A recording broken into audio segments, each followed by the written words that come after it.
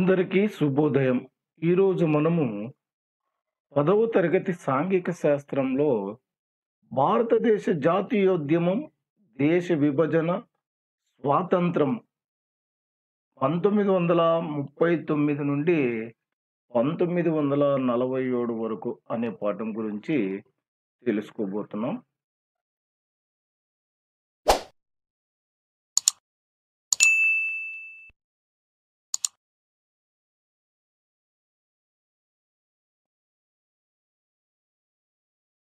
పాఠంలో భారతదేశం స్వేచ్ఛను పొందడం మరి విషయాలుగా విభజించడం ఒక ఆలోచనను అందిస్తుంది. ప్రపంచ యుద్ధానికి భారతీయులు మద్దతు తెలపాలా? పంతొమ్మిది వందల ముప్పై తొమ్మిది పంతొమ్మిది వందల నలభై రెండు. పంతొమ్మిది వందల ముప్పై ఐదులో బ్రిటిష్ పార్లమెంటు భారత ప్రభుత్వ చట్టాన్ని ఆమోదించింది. ఈ చట్టం ప్రకారం రాష్ట్రాలలో ఎన్నికలు నిర్వహించి వీటిలో గెలిచిన పార్టీలు ప్రభుత్వాన్ని ఏర్పాటు చేయవచ్చు. అయితే ఓటు వేసే అధికారాన్ని జనాభాలో చాలా కొద్ది మందికే ఇచ్చారు. రాష్ట్ర శాసనసభకైతే కేవలం పది శాతం మందికి కేంద్ర శాసనసభకైతే ఒక శాతం మంది ప్రజలకే ఓటు హక్కు లభించింది. రెండో ప్రపంచం యుద్ధం పంతొమ్మిది వందల ముప్పై తొమ్మిదిలో మొదలైనప్పుడు దేశంలోని పలు రాష్ట్రాలు కాంగ్రెస్ ప్రభుత్వ పాలనలో ఉన్నాయి. బ్రిటిష్ ఇండియాలో పదకొండు రాష్ట్రాలలో పంతొమ్మిది వందల ముప్పై ఏడులో ఎన్నికలు నిర్వహించినప్పుడు కాంగ్రెస్ పార్టీ ఘన విజయం సాధించి పదకొండు రాష్ట్రాలకు గాను ఎనిమిది రాష్ట్రాల్లో కాంగ్రెస్ ప్రధానమంత్రులుగా ఎన్నికయ్యారు. అయితే వీరందరూ బ్రిటిష్ గవర్నర్ పర్యవేక్షణలో పనిచేయాల్సి ఉండేది.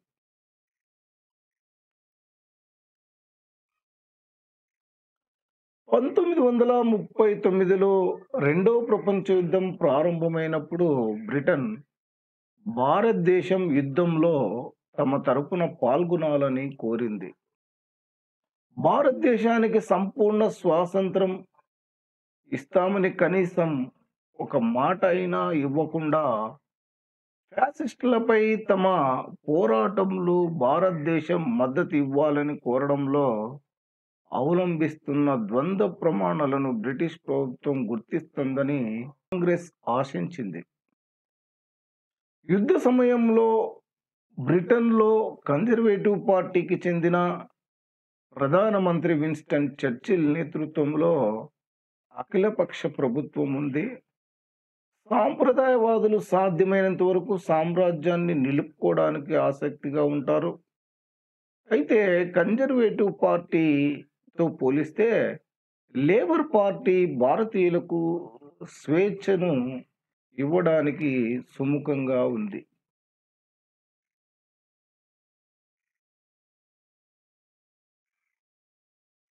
నాయకుల ముందు ఒక పెద్ద సమస్య వచ్చి పడింది. కొంతమంది జాతీయ నాయకులకు బ్రిటిష్ ఫ్యాసిజానికి వ్యతిరేక పోరా పోరాటానికి మద్దతు ఇవ్వాలనుకున్నారు. అయితే ఇతరులు భారతదేశానికి స్వేచ్ఛ పొందడానికి రెండో ప్రపంచ యుద్ధంలో పాల్గొన్న బ్రిటన్పై దాడి చేయాలని కోరుకున్నారు.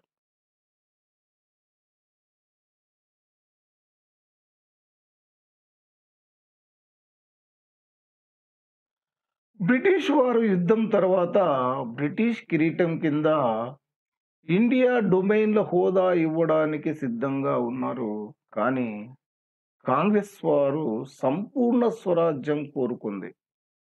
బ్రిటిష్ వారు భారతదేశంలో అనేక ఇతర వర్గ ప్రయోజనాలు కూడా కాపాడవలసిందని చెప్పడం ద్వారా దీనిని వ్యతిరేకించారు. భారతీయులందరికీ కాంగ్రెస్ ప్రాతినిధ్యం వహించలేదని ఉదాహరణకు ముస్లింలకు వారు సూచించారు. అనేక మంది భారతీయుల ప్రయోజనాలను కాంగ్రెస్ పట్టించుకోవడం లేదని బ్రిటిష్ వారు ఈ ప్రయోజనాలను కాపాడవలసిన అవసరం ఉందని వారు సూచించారు. బ్రిటిష్ వారి మొండితనానికి కాంగ్రెస్ విసిగిపోయి రాష్ట్ర ప్రభుత్వాల నుండి బయటికి వెళ్ళాలని నిర్ణయించుకుంది. పంతొమ్మిది వందల ముప్పై ఏడులో అధికారానికి వచ్చిన తర్వాత అన్ని కాంగ్రెస్ మంత్రిత్వ శాఖలు అక్టోబర్ పంతొమ్మిది వందల ముప్పై తొమ్మిదిలో రాజీనామాలు చేశాయి.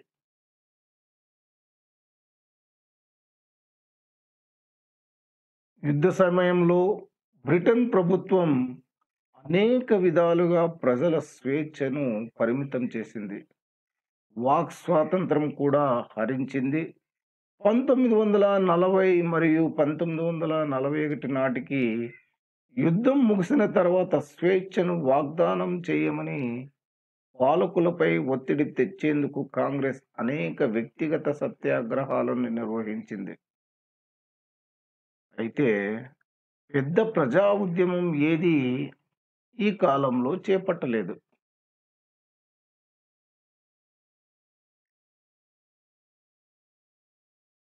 దేశ ప్రజలకు ఎవరు ప్రాతినిధిస్తారు?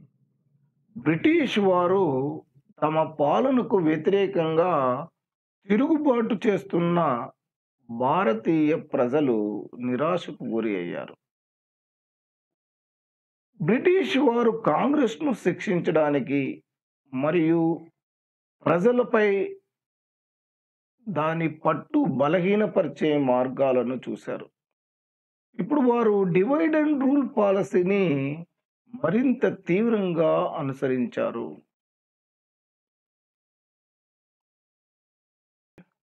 ఈ దిశగా బ్రిటిష్ ప్రభుత్వం ముస్లిం లీగ్ లీగ్ యొక్క ప్రణాళికలకు మద్దతునిచ్చింది మరియు ప్రోత్సహించింది.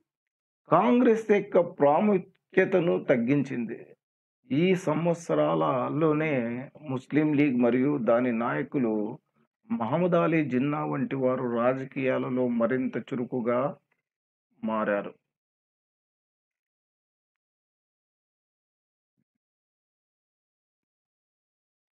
ముస్లిం లీగ్ ఇది వందల ఆరులో ఏర్పడిన పార్టీ పంతొమ్మిది వందల ముప్పై వరకు ముస్లిం లీగ్ ఉత్తరప్రదేశ్లోని ముస్లింల భూస్వాముల ప్రయోజనాలకు ప్రాతినిధ్యం వహించింది. అయితే పెద్దగా ప్రజల మద్దతు లేదు. ముస్లింలు మాత్రమే ఓటు వేసే అన్ని కౌన్సిళ్ళలో బ్రిటిష్ వారు ప్రత్యేక సీట్లను సృష్టించాలని డిమాండ్ చేసింది. అనేక ప్రాంతాలలో మెజార్టీ ప్రజలు హిందువులు కనుక ఎక్కువ మంది హిందువులు కౌన్సిల్కు కౌన్సిల్కు ఎన్నికయ్యే అవకాశం ఉందని మరియు ముస్లింలు ప్రభుత్వంలో తమ ప్రయోజనాలను కాపాడుకోవడం కష్టమని వారు వాదించారు. శాసన మండలిలో ముస్లింలకు రిజర్వేషన్ కల్పించాలని వారు కోరుకున్నారు.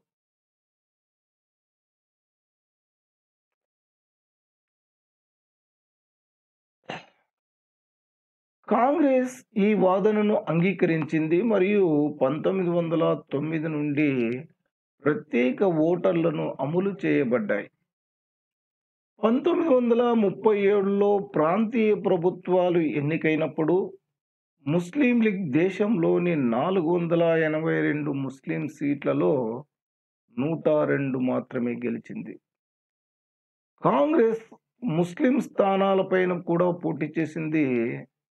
ఎందుకంటే ఇది జాతీయ పార్టీ అని మరియు హిందీ హిందువుల పార్టీ మాత్రమే కాదని వారు నమ్మారు.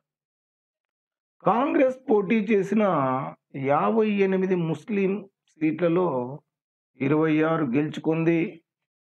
పంతొమ్మిది వందల ముప్పై ఏడులో ముస్లిం లీగ్ ఎన్నికలలో పోలైన మొత్తం ముస్లిం ఓట్లలో నాలుగు పాయింట్ నాలుగు శాతం మాత్రమే పొందింది. కానీ రాబోయే పది సంవత్సరాలలో పరిస్థితి మారిపోయింది పంతొమ్మిది వందల నలభై ఆరులో ప్రొవిన్షియల్ మరియు సెంట్రల్ అసెంబ్లీకి మళ్ళీ ఎన్నికలు జరిగినప్పుడు ముస్లిం లీగ్ ముస్లిం స్థానాలను నిర్మాణాత్మకంగా గెలుచుకోవడంలో విజయం సాధించింది.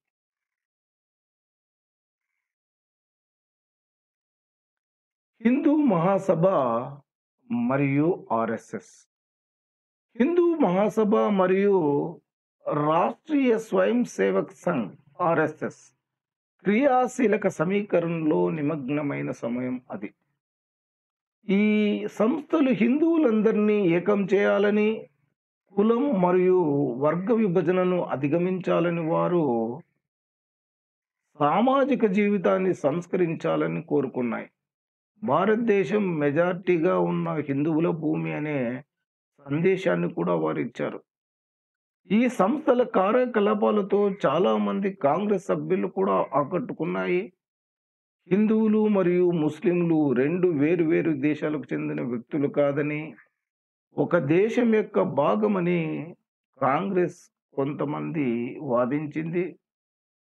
ఏదేమైనా బ్రిటిష్ వారు హిందూ ఆధిపత్యం గురించి లీగ్ యొక్క భయాలను ఆసక్తిగా వింటున్నారు మరియు ముస్లింలను సురక్షితంగా ఉంచడానికి మార్గాలను సూచిస్తున్నారు.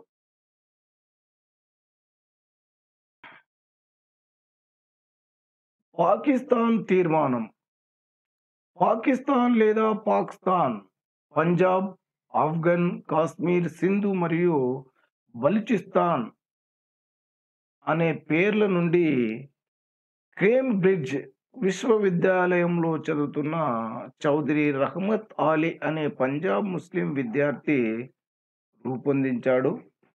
1933 మరియు 1935లో రాసిన కరపత్రాలలో ఈ యువ విద్యార్థి కొత్త సంస్థ కోసం జాతీయ దేశాన్ని కోరుకున్నాడు.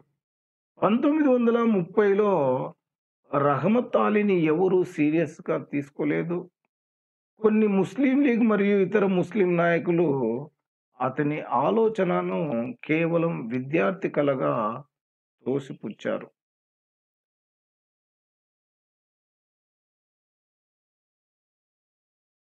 ఇరవై మూడు మార్చ్ 1940న ముస్లిం లీగ్ ఉపఖండంలోని ముస్లిం మెజార్టీ ప్రాంతాల స్వయం ప్రతిపత్తిని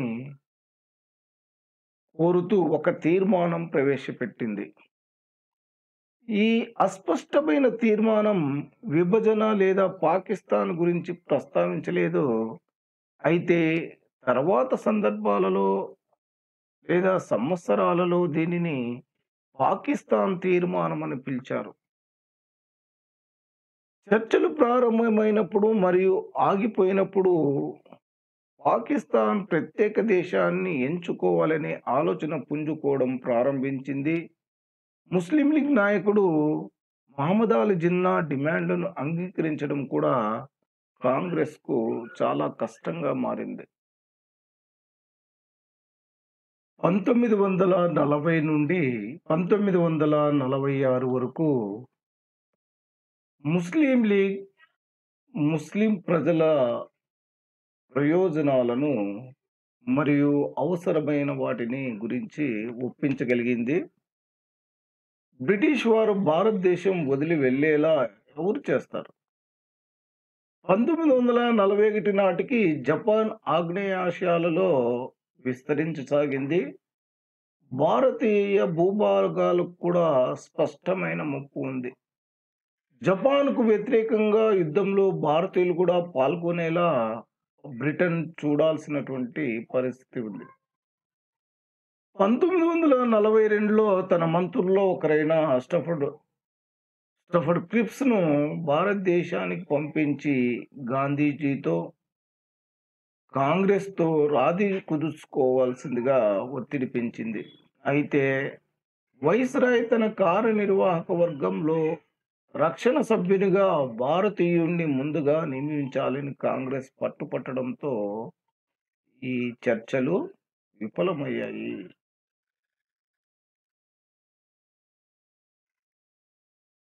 క్రిప్స్ దౌత్ విఫలమైన తర్వాత బ్రిటిష్ పాలనకు వ్యతిరేకంగా మహాత్మా గాంధీ తన మూడవ ముఖ్యమైన క్విట్ ఇండియా ఉద్యమాన్ని పంతొమ్మిది వందల నలభై రెండు ఆగస్టులో ప్రారంభించాడు. గాంధీజీని వెంటనే ఖైదు చేసిన యువ కార్యకర్తలు దేశవ్యాప్తంగా సమ్మెలు నిర్వహించారు. దాడులలో ఆస్తి నష్టం గావించారు. యువత పెద్ద సంఖ్యలో కళాశాల చదువులు వదిలిపెట్టి జైళ్ళకు వెళ్ళారు. ప్రత్యేకించి రహస్య ఉద్యమాలలో జయప్రకాష్ నారాయణ వంటి సోషలిస్ట్ సభ్యులు చురుగ్గా పాల్గొన్నారు. పశ్చిమంలో సతారా తూర్పులో ముదినిపురి వంటి పలు జిల్లాల్లో స్వతంత్ర ప్రభుత్వాలు ప్రకటించారు. బ్రిటిష్ పాలకులు మరింత బలప్రయోగంతో శక్తివంతంగా ఉద్యమాన్ని అణిచివేశారు. ఈలోగా యుద్ధంలో బ్రిటన్కు మద్దతు ఇవ్వాలని భారత్ కమ్యూనిస్ట్ పార్టీ నిర్ణయించింది. ఎందుకంటే నాజీ సైన్యం సోవియట్ యూనియన్పై దండెత్తడంతో అది ఆందోళన చెందింది. ఇందుకు విరుద్ధంగా గాంధీజీ వంటి వారు బ్రిటన్ భారతదేశం విడిచి వెళ్ళిపోతే తాము సొంతంగా జపాన్ను ఎదుర్కోగలదని భావించారు.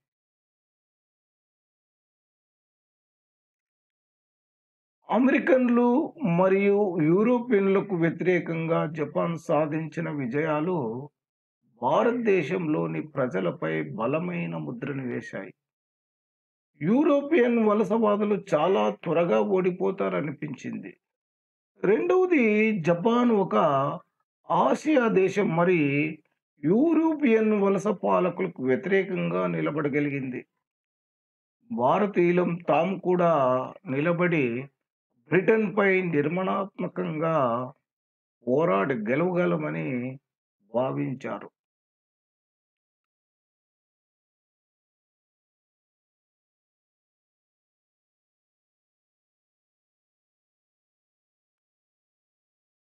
బ్రిటన్ ఎదుర్కొంటున్న కష్ట సమయాన్ని సుభాష్ చంద్రబోస్ మంచి అవకాశంగా భావించారు. భారతదేశ స్వాతంత్రం అత్యంత ప్రాధాన్యత కలిగిన అంశమని బ్రిటిష్ పాలకులను తరిమివేయటానికి జపాన్ సహాయం తీసుకోవాలని అతడు భావించాడు. రహస్యంగా జర్మనీకి అక్కడి నుంచి జపాన్కు వెళ్ళి పంతొమ్మిది వందల నలభై రెండులో భారతీయ సైనికులతో ఒక సైన్యాన్ని తయారు చేశాడు. బర్మా మలయా దేశాలలో బ్రిటిష్ సైన్యంలోని వాళ్ళతో సైన్యాన్ని ఏర్పాటు చేసి దానికి భారత జాతీయ సైన్యం అని పేరు పెట్టారు. ఎంతో మంది మహిళలతో సహా ఇతర భారతీయులు కూడా ఈ సైన్యంలో చేరారు. అయితే బోసుతో గాంధీజీ ఏకీభవించలేదు. జపనీయులు భారతదేశానికి విముక్తిదాతలు కాలేరని అతడు భావించాడు. కానీ సుభాష్ చంద్రబోస్ తాను ఎన్నుకున్న మార్గంలో ముందుకు సాగారు. జపాన్ సైన్యంతో కలిసి బ్రిటిష్ వాళ్ళకు వ్యతిరేకంగా దాదాపు మూడు సంవత్సరాల పాటు యుద్ధం చేశారు. దశలో మిత్రపక్షాలు యుద్ధంలో ఓడిపోతాయనిపించింది. కానీ స్టాలిన్ గ్రాండ్లోని తిరుగులేని విజయం సాధించడంతో రష్యా నాజీ శక్తుల ఆటలను కట్టించింది. మిత్రకూటమి యుద్ధంపై తిరుగు పట్టు సాధించి అంతిమంగా రెండవ ప్రపంచ యుద్ధంలో విజయం సాధించింది. సుభాష్ చంద్రబోస్ భారత సైన్యాన్ని బ్రిటిష్ వారి చేతుల్లో ఓటమి పాలైంది. ఆ తర్వాత ఘటనలో బోసు చనిపోయాడు మాయమయ్యాడో ఖచ్చితంగా తెలియరాలేదు. పంతొమ్మిది వందల నలభై నాలుగు జూన్లో యుద్ధం ముగింపు దశకు చేరుకుంటుండగా బ్రిటిష్ ప్రభుత్వం గాంధీజీని చెరసాల నుండి విడుదల చేసింది. ప్రజల తిరుగుబాటు పంతొమ్మిది వందల నలభై ఆరు నుండి పంతొమ్మిది వందల నలభై ఎనిమిది వరకు. భారత జాతీయ సైన్యానికి చెందిన సైనికులను జైలు పాలు చేసి వారిని శిక్షించాలని బ్రిటిష్ పాలకులు నిర్ణయించారు. విద్రోహ చర్య కింద వారిని విచారించి ఉరిశిక్ష విధించాలని కూడా నిర్ణయించారు. విచారణ కొనసాగుతుండగా దేశంలో పలు పలు ప్రాంతాలలో అశాంతి అసంతృప్తి చెలరేగాయి. జాతీయ చైతన్యంతో తెలి చెలరేగిన ఈ ప్రజా తిరుగుబాటులో హిందూ ముస్లింల గుర్తింపు విభజన రాజకీయాల వంటి ప్రాముఖ్యతను కోల్పోయాయి. ఆహార కోటాలు పెరుగుతున్న ధరలు అక్రమ నిల్వలు నల్ల బజారు వంటి వాటితో ప్రజలు తీవ్ర అశాంతి చెలరేగి ధరలపై రైల్వే తపాలా ఉద్యోగులు ఇతర ప్రభుత్వ ఉద్యోగులు అఖిల భారత సమ్మె చేపట్టాలనే ప్రణాళికలో ఉన్నారు.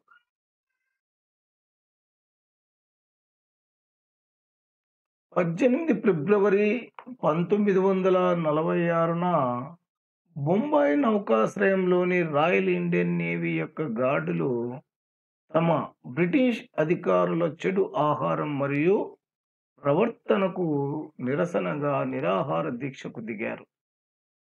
సమ్మె వేగంగా బొంబాయి ఒడ్డున ఉన్న ఇతర నావికాదళ పురుషులకు మరియు భారతదేశంలో ఉన్న అన్ని నావికా స్థావరాలకు వ్యాపించింది. తిరుగుబాటు చేసే వ్యక్తులు మూడు రంగుల జెండా నెలవంక మరియు సుత్తి కొడవలి జెండాలను ఓడలపై ఎగరవేశారు.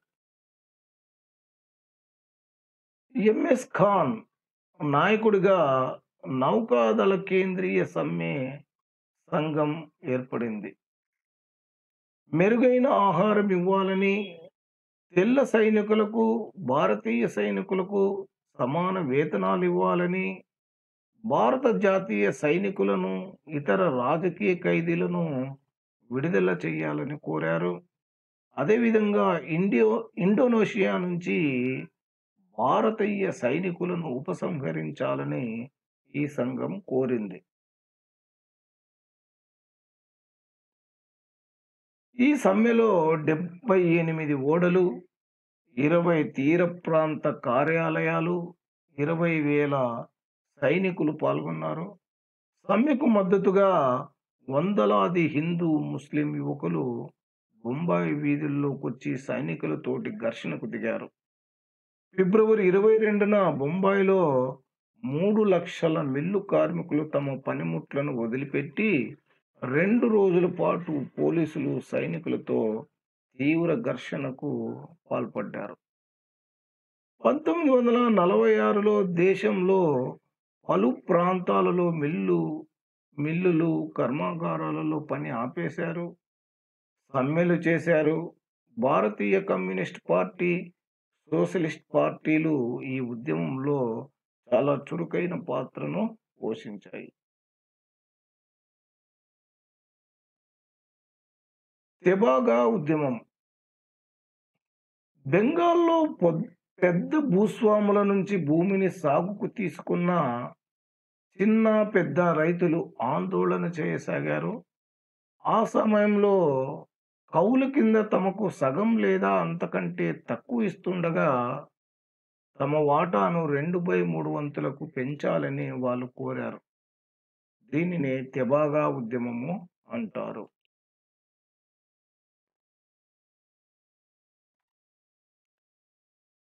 కిసాన్ సభ.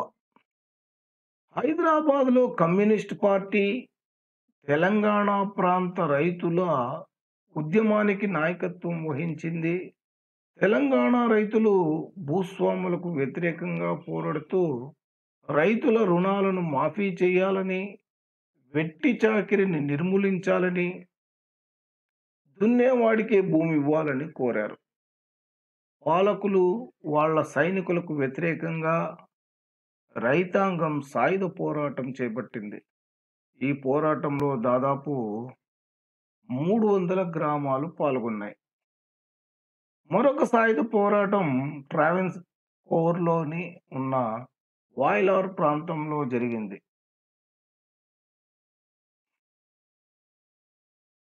ముస్లిం లీగ్ కాంగ్రెస్ అధికార బదిలీ కోసం చర్చలు. పంతొమ్మిది వందల నలభై ఐదులో అగ్రనాయకుల మధ్య రాజకీయ సంప్రదింపులు తిరిగి ప్రారంభమైనప్పుడు పూర్తి స్వాతంత్రం ఇవ్వడానికి ముందుగా వైస్రాయ్ సైనిక దళ కమాండర్ ఇన్ చీఫ్ మినహా కేంద్ర కార్యనిర్వాహక వర్గాన్ని పూర్తిగా భారతీయులతో ఏర్పాటు చేయడానికి బ్రిటన్ సిద్ధమైంది. ఈ కార్యనిర్వాహక వర్గంలో ముస్లిం సభ్యులను ఎన్కే చేయడానికి ముస్లిం లీగ్కు సంపూర్ణ అధికారం ఉండాలని జిన్నా మహమ్మద్ అలీ జిన్నా గారు పట్టుబట్టడంతో అధికార బదిలీకి సంబంధించిన చర్చలు విఫలమయ్యాయి. దీని పట్ల ఇతరులు కూడా అభ్యంతరాన్ని వ్యక్తపరిచారు. జాతీయవాద ముస్లింలలో పలువురు మద్దతు కాంగ్రెస్కు ఉంది పంజాబ్లోని యూనియనిస్ట్ పార్టీలో పలువురు ముస్లింలు సభ్యులుగా ఉన్నారు. ఈ రెండు పార్టీలు ముస్లిం లీగ్ కోరికను సమర్థించలేదు. ఆ సమయంలో కాంగ్రెస్ పార్టీ అధ్యక్షుడిగా మౌలానా ఆజాద్ ఉండడంతో దాని ప్రతినిధి బృందానికి అతడు నేతృత్వం వహించాడు. పంతొమ్మిది వందల నలభై ఆరులో ప్రొవిన్షియల్ ప్రభుత్వాలకు ఎన్నికలు జరిగాయి. ముస్లిం లీగ్ కేంద్రంలోని మొత్తం ముప్పై రి- రిజర్వ్డ్ నియోజకవర్గాలను మరియు ప్రావిన్స్లోని ఐదు వందల తొమ్మిది సీట్లలో నాలుగు వందల నలభై రెండు సీట్లను గెలుచుకుంది. పంతొమ్మిది వందల ఇరవై నలభై ఆరు నాటికి ముస్లిం ముస్లిం ఓటర్లలో లీగ్ ఆధిపత్య పార్టీగా స్థిరపడింది. భారతదేశం ముస్లింల ఏకైక ప్రతినిధిగా తన వాదనను నిజం చేసుకుంది. ముస్లిం ఓటర్లలో ఎనభై ఆరు శాతానికి పైగా ఆ పార్టీకి వచ్చాయి. పంతొమ్మిది వందల నలభై ఆరులో సాధారణ నియోజకవర్గాలలో కాంగ్రెస్ పార్టీ ముస్లిం ఏతర ఓట్లలో తొంభై ఒక్క శాతం ఓట్లతో ఘన విజయం సాధించింది. దేశ విభజన ప్రత్యన్ ప్రత్యామ్నాయ మార్గాలు. ముస్లిం లీగ్ కోరికను పరిశీలించి స్వతంత్ర భారతదేశానికి అనువైన రాజకీయ చట్టాన్ని సిఫారసు చేయటానికి బ్రిటిష్ మంత్రివర్గంలో పంతొమ్మిది వందల నలభై ఆరు మార్చిలో ముగ్గురు సభ్యులను ఢిల్లీకి పంపించింది.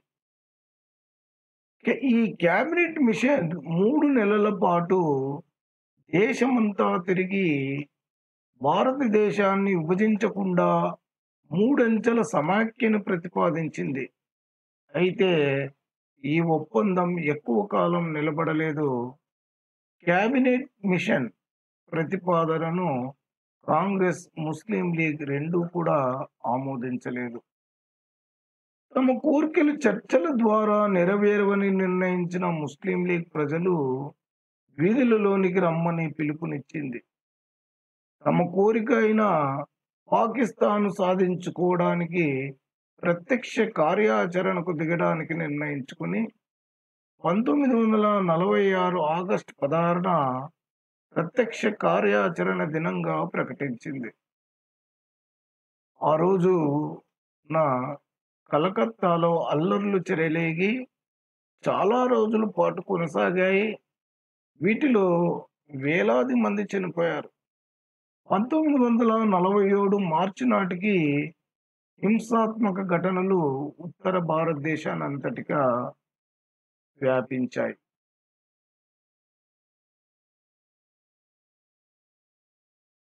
హింసాత్మక చర్యల నేపథ్యంలో పంతొమ్మిది వందల నలభై ఏడు మార్చిలో పంజాబ్ని రెండుగా విభజించడానికి కాంగ్రెస్ అధినాయకత్వం సమ్మతించింది. ఒక భాగంలో ముస్లింలు అధిక సంఖ్యలో ఉండగా మిగతా సగ భాగంలో హిందూ సిక్కులు అధిక భాగంలో ఉన్నారు. ఇదే సిద్ధాంతాన్ని బెంగాల్కు వర్తింప చేయడానికి కాంగ్రెస్ సమ్మతించింది. పంతొమ్మిది వందల నలభై ఏడు ఫిబ్రవరిలో వావెల్ స్థానంలో వైస్రాయ్గా మౌంట్ బాటన్ వచ్చాడు. ఈయన ముందుకు వెళ్ళడానికి ఆఖరి దఫా చర్చలకు ఆహ్వానించాడు. అవి కూడా విఫలం కావడంతో భారతదేశానికి స్వాతంత్రం ఇస్తానని దానితో పాటు దేశాన్ని విభజిస్తామని కూడా ప్రకటించాడు. బ్రిటిష్ ప్రభుత్వం నుంచి పాకిస్తాన్ అధికార బదిలీలో పంతొమ్మిది వందల నలభై ఏడు ఆగస్టు పద్నాలుగున భారతదేశానికి ఆగస్టు పదహైదున స్వాతంత్రం ఇస్తామని ప్రకటించారు. ప్రజలను సంవత్సర కాలంగా ముంచెత్తుతున్న అల్లర్లు రక్తపాతము విద్వేషాలకు ఇదొక్కటే ఆచరణీయ పరిష్ పరిష్కారంగా కనబడింది.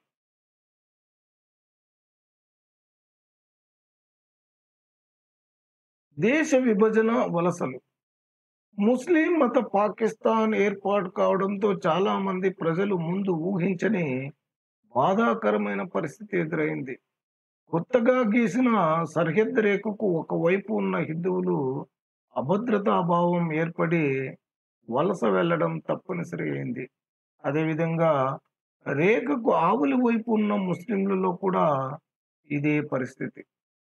తమ ఇల్లు ఊళ్ళు పట్టణాలను విడిచి వెళ్ళవలసి రావడం ఒకరి పట్ల ఒకరికి కోపము విద్వేషాలు చెలరేగాయి మొత్తంగా ఒకటి పాయింట్ ఐదు కోట్ల ముస్లింలు హిందువులు నిర్వాసితులయ్యారు. హత్యలు దోపిడీలు దహనలు యథేక్షగా కొనసాగాయి. హిందువులు ముస్లింలు కలిసి రెండు నుంచి ఐదు లక్షల మంది చంపబడ్డారు. శాంతి సౌభ్రతత్వం సందేశాలను పంచుతూ గాంధీజీకి అల్లర్లు గురి అయిన ప్రజల శిబిరాలను మధ్య ఆసుపత్రులలో గడిపాడు. తను ఇంతగా కష్టపడి ఇటువంటి స్వేచ్ఛా స్వరాజ్యాల కోసం కాదు. గాంధీ గారు మొదట స్వాతంత్ర దినోత్సవం నాడు సంబరాలు చేసుకోకుండా నిరాహార దీక్ష చేశారు.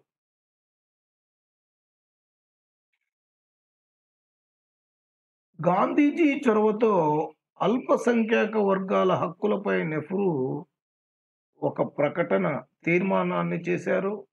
కాంగ్రెస్ పార్టీ రెండు దేశాల సిద్ధాంతాన్ని ఎప్పుడూ అంగీకరించలేదు.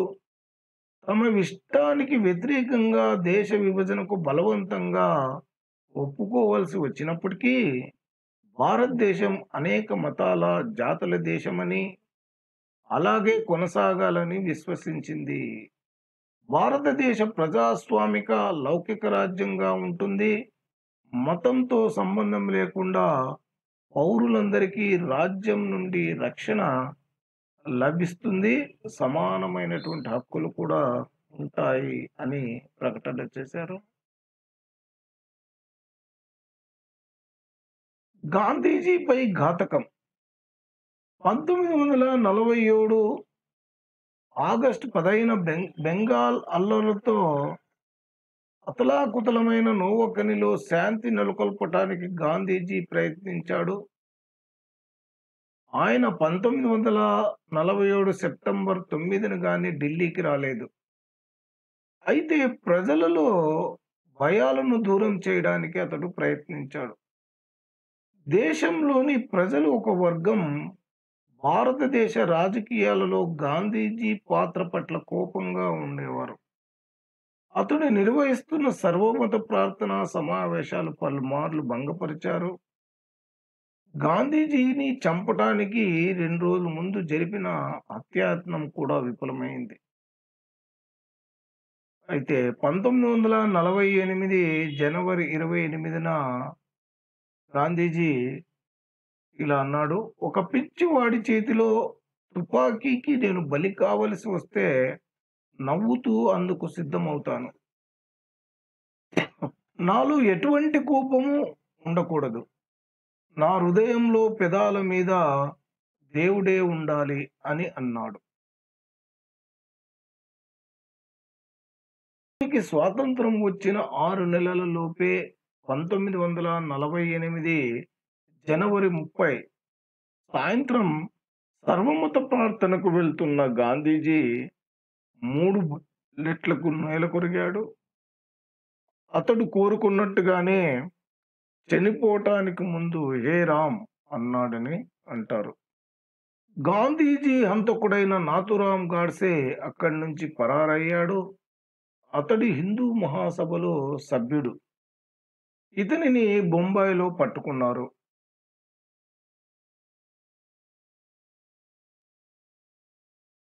సంస్థానాల విలీనం. బ్రిటిష్ అధికారం కింద సర్వసత్తాక పాలనతో సుమారుగా ఐదు వందల యాభై సంస్థానాలు ఉండేవి. బ్రిటిష్ పాలకులు భారతదేశం నుంచి వెళ్ళిపోవడంతో ఈ సంస్థానాలు కూడా స్వాతంత్రం పొందాయి. భారతదేశంలో కానీ పాకిస్తాన్లో కానీ లేదా స్వతంత్రంగా ఉంటారో నిర్ణయించుకోమని బ్రిటిష్ వారు వీరిని కోరారు.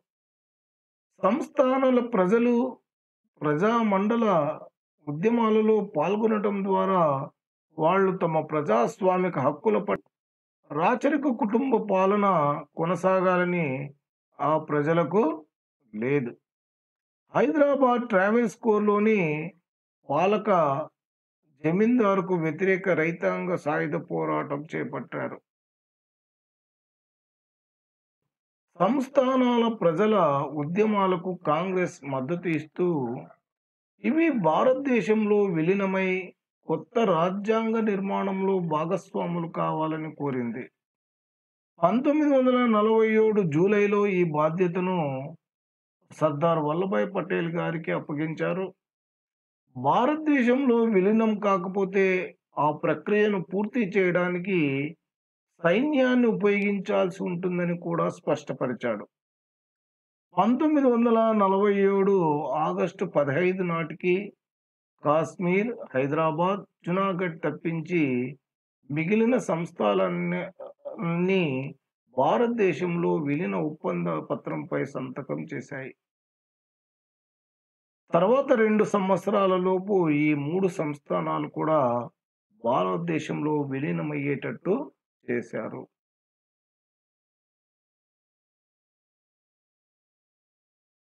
సంస్థానాల ప్రభుత్వాలను స్వాధీనం చేసుకుని ఆ రాజకీయ కుటుంబాలకు వ్యక్తిగత ఖర్చులకు పెన్షన్లు మంజూరు చేశారు. దీనిని రాచరిక భరణం అనేవాళ్ళు. వీటిని పంతొమ్మిది వందల డెబ్బై ఒకటిలో భారత ప్రభుత్వము ఈ భరణాన్ని గత రాజకీయ కుటుంబాల బిరుదులను కూడా రద్దు చేసింది. విలీనం చేయటం కొత్త పరిపాలనా సౌభ్య సౌలభ్యానికే రాష్ట్రాలను ఏర్పాటు చేశారు.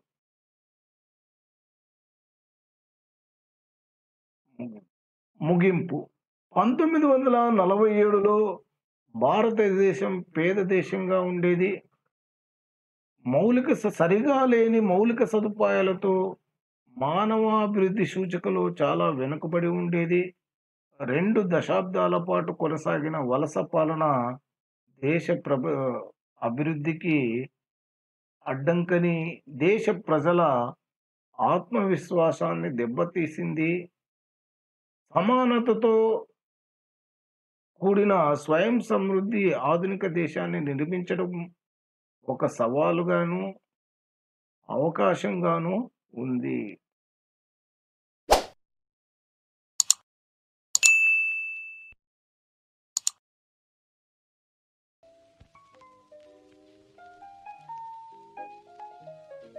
Ha